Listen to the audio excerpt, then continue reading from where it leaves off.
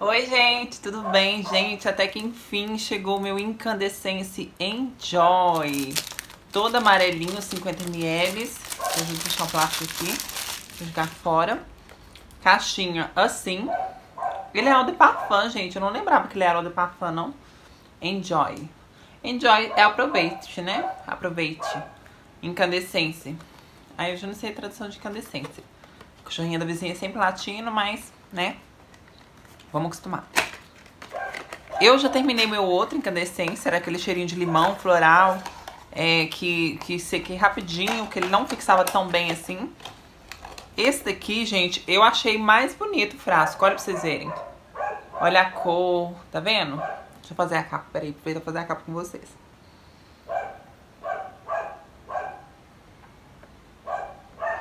Não sei se vai pegar, mas quer que eu faça de novo.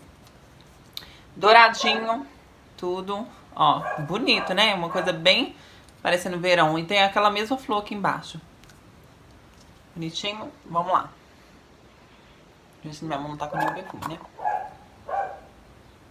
Ele, gente, eu tava muito curiosa nele porque ele tem nota de girassol. Eu achei ele, assim, porque eu já testei, testei assim, né? Assim que chegou de manhã, eu dei uma borrifada, até comentei com vocês lá no Stories ontem. Que à noite eu tomei banho e ainda tava sentindo ele de levinho na minha pele. Gente, esse cachorro misericórdia, mas é da vizinha, não tem o que fazer. Gente, é muito cheiroso. Eu nunca, eu não lembro de ter cheirado um girassol. Eu já peguei um girassol, mas eu não lembro de ter cheirado. Mas ele é um floral.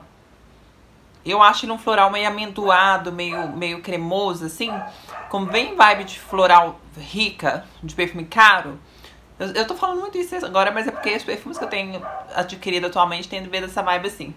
Ele, ele vai na linha, assim, não parece, mas ele foi na linha. Eu não tenho original, nunca testei, mas eu digo pela TB Cosméticos. Pelo Love Chloe Story, da Chloe. Tá, gente? Tipo aquele floral cremoso, assim, bem cheirosinho.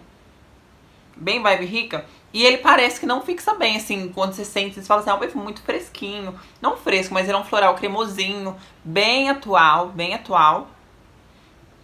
E, gente, eu passei ele, como eu disse, Tomei meu banho, cheguei de noite e ainda tava sentindo ele fraquinho assim na minha pele. Bem fraquinho, mas não tinha sumido. Então já ficou o dia inteiro. Nisso, é, eu me surpreendi muito com ele. Então eu quero fazer, usar mais vezes para depois vir fazer resenha para vocês, para ver se realmente fixa.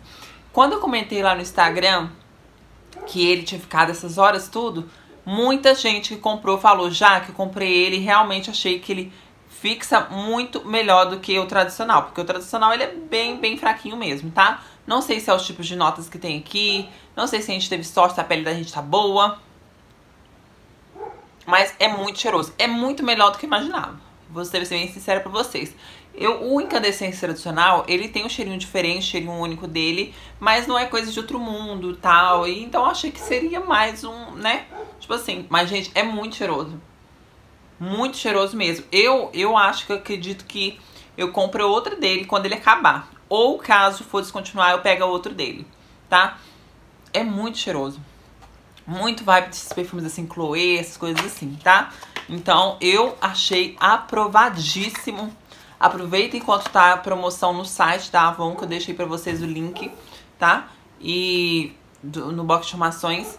Gente, Gostei muito, muito, muito, muito, muito mesmo. Aprovadíssimo, assim, as primeiras impressões. Mas depois que eu fizer...